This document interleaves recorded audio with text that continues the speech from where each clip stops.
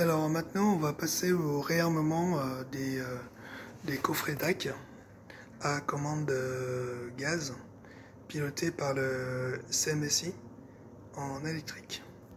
Alors pour réarmer le dispositif de sécurité, il est impératif de réarmer d'abord le CMSI ici, étant donné que je suis en, en action. Alors je vais aller sur la centrale du CMSI, CMSI.com.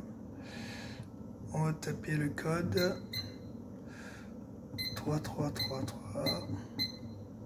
On valide. Et là, on va aller sur réarmement. Et on va mettre réarmer la mise en sécurité. Donc je vais là. Il me, dit qu'il y a deux, deux mises en sécurité. Et donc on valide. Ma centrale est armée. Euh, j'ai plus euh, mes voyants de commande. Ça veut dire que maintenant je peux réarmer la ventouse. Alors pour réarmer la, commande ici, il euh, faut que je pousse le piston vers la gauche avec un tournevis. Hop, voilà. Donc là, j'ai réarmé mon piston. On va faire pareil pour le deuxième. On va pousser comme ceci. Voilà, voilà. Du coup, elle est passée sur la bobine pour être maintenue. Alors, euh, c'est pas encore fini. Il va falloir euh, les pointes aussi. Parce qu'ils sont toujours en pression basse. Alors pour ça, c'est simple, il suffit juste de remonter la poignée. Hop. Voilà.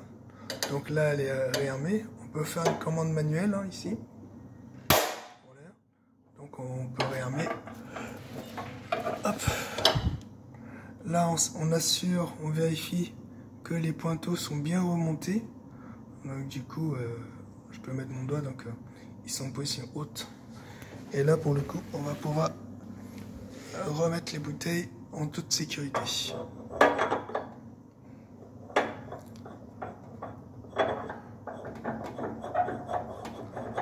Voilà, c'est une bouteille de, de 150 grammes. Une bouteille de CO2 de 150 grammes pour la commande à gaz. Des ouvrants exutoires.